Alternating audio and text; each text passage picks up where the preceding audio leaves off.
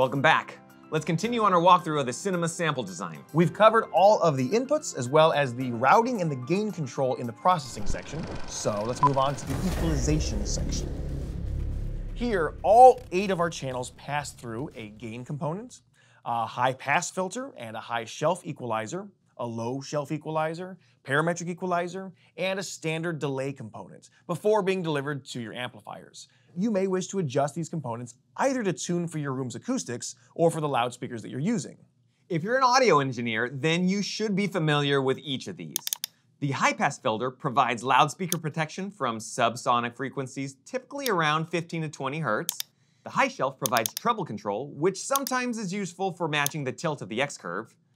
The low shelf provides a classic bass boost or cut. The parametric equalizer is where the meat of the EQ happens, and the delay is mostly for surround delay compensation. The delay component, of course, will be important to everyone, as you offset the audio playing from the speakers farther from the screen to align with the audio coming from the mains. You'll notice on the left and right side surround channels that there are actually two outputs for the delay blocks. This splits the same signal into two channels that are identical except for whatever difference you set in their delays we're not gonna explain how to make all the adjustments in this video because if you don't already know how to use these components, then these aren't the videos that you're looking for. These aren't the videos you're looking for. Move along. Move along. I do want to point out, however, that if you're using QSC amplifiers and loudspeakers, which of course we recommend, then our custom voicing for our loudspeakers, known as intrinsic correction, will automatically be applied to protect the loudspeaker and provide you the best possible sonic performance. But if someone has, let's say, captured your daughter and leveraged her safety to make you use non-QSC amplifiers and loudspeakers, then let's hope you have a very particular set of skills. Skills that you've acquired over a very long career to help you use these equalization components to voice your loudspeakers.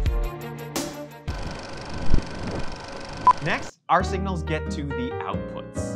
We're using the DPA 4K 8QN amplifiers which give us some really flexible options. These 8-channel amplifiers can combine their channels in many useful ways. In their properties, you'll see that channels A, B, C, D, G, and H are configured as six independent channels, but channels EF have been combined in parallel. We're using this parallel channel for a subwoofer, and this design has two subwoofers, so that's happening on both amplifiers.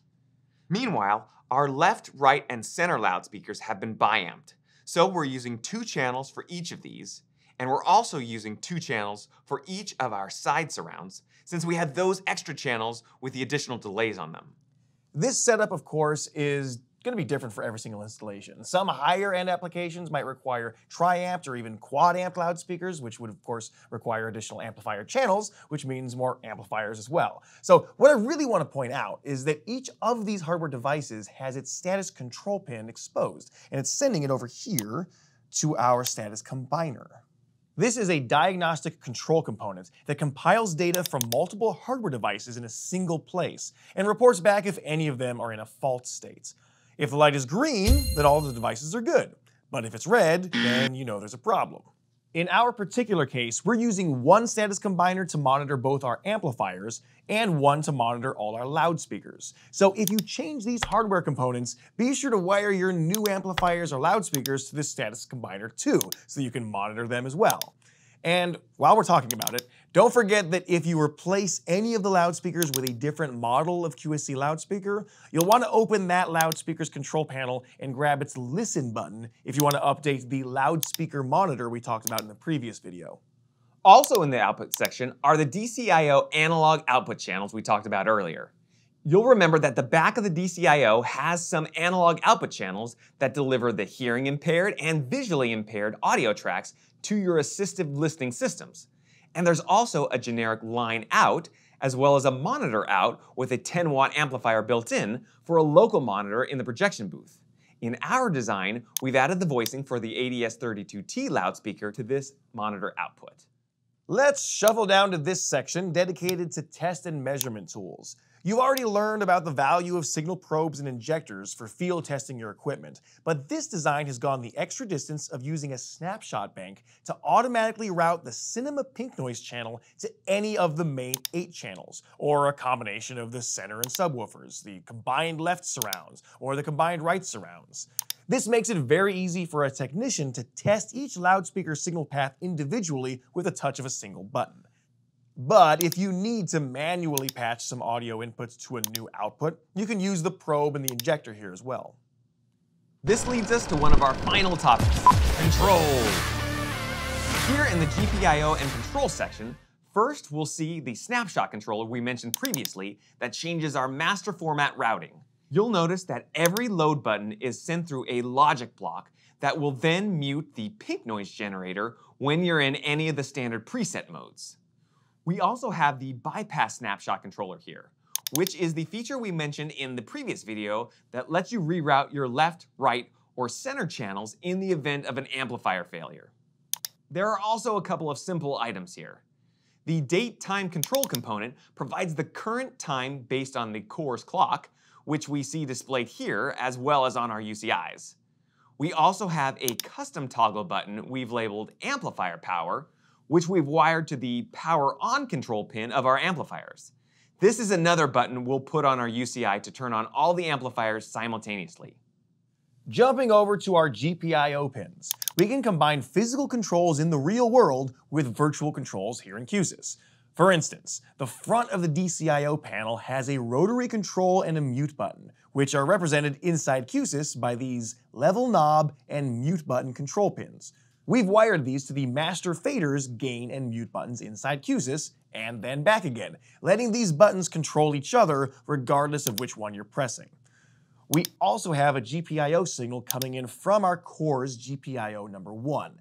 This is a typical fire alarm application. When the fire alarm goes off, we need to mute all the auditorium's audio. So here, our incoming signal hits a custom toggle button we're calling Fire 1 to control our master mute button. This button also goes directly to our system mute components, which you can also control from this button in the top toolbar. The system mute will mute all output channels in the entire design, just in case you were also, I don't know, using a signal injector or something like that, which might not have been muted by the master fader. Basically, you can never have enough mute when you need it. Beetlejuice, Beetlejuice, Beetlejuice! All right, finally, we have four relay outputs leaving our DCIO, which can be used to send signals to external devices in your auditorium. These might typically be used for dimmer controls or for the masking motors that crop the edges of the picture. All of our relay buttons, format presets, power buttons, and gain controls are all gathered here in our manual control section. But that's only really useful if you have designer software open. More likely, a user will be interacting with the system via a Q-SYS touch panel. This design comes with three UCIs that all have the same controls, designed for an iPad, a TSC7, or a TSC 5.5 G2 device. Each of these have a master fader control on the right, the hardware status LED at the top, access to a meters page that shows all of the input and output levels, a monitor page that uses the monitor snapshots or the loudspeaker monitor presets that we discussed earlier, as well as the monitor gain control. And of course, the format selection options are at the bottom. Of course, we're talking about these buttons as if you're ever actually going to use them. Exactly. Come on, who actually presses buttons anymore? What would be far more convenient is if it happened all on its own. Q sys Q-SYS Q sys Q sys Q sys Q sys when you need some control? Q-SYS provides it for saving big. Roll trigger, the change is automatic. The automation is what you need, and you get it all for free. Okay, so automation's not always a good thing. But it is in a cinema auditorium. Ah. Everything is automated these days. When it comes to changing formats between the trailer audio and the feature audio, there usually isn't a projectionist sitting in the booth to do that. No. Instead, a media server sends a TCP command on the network at the top of every one of its media segments. Q-SYS can, of course, receive those commands so that the Cinema processor is actually the one recalling your snapshots.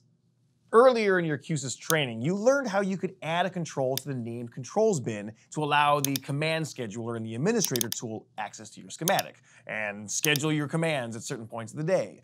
Well, the named controls bin also exposes its controls to other devices on the network, so long as they know your IP address, what port to talk on, and what commands to send. We've already added all of the format snapshot recall buttons to the named controls bin. F51, F71, HDMI 51, etc., along with some other common controls like gain, mute, etc. For an in-depth look at this external control protocol, you can check out our training videos on that subject. But for now, suffice it to say that the Cinema processor can fire them using a command like CSV space F51 space 1 which sends a control set value to the F51 control with a value of 1, which means on. This will activate format AES 5.1. Voila! Don't worry, you don't need to memorize those commands. We've provided them for you. Just click this automation command list for examples of the strings you need to enter to execute different commands. Just don't forget that if you do end up copying this page to a second auditorium, the name controls for the next auditorium will be different, so adjust these commands too. And that's it. That is the Cinema Sample Design walkthrough. With this design, you have everything you need to have a fully functional auditorium. To finalize your certification in Q-SYS for Cinema, you now have to execute some design changes to this file based on specifications that we'll provide you. So download that, good luck, and that's all folks.